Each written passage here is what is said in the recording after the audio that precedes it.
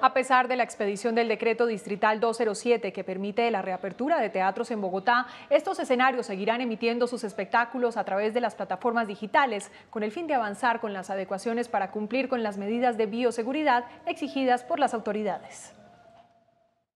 Con el fin de garantizarle a la ciudadanía escenarios seguros, los espectáculos realizados en teatros como el Jorge Eliezer Gaitán y el Teatro El Parque, entre otros, seguirán transmitiéndose sin público estamos efectivamente ya haciendo labores de creación al interior de los teatros, estamos generando eh, piezas que pueden disfrutar desde artesencasa.co.co con artistas de reconocida trayectoria y que pues eh, estarán eh, generando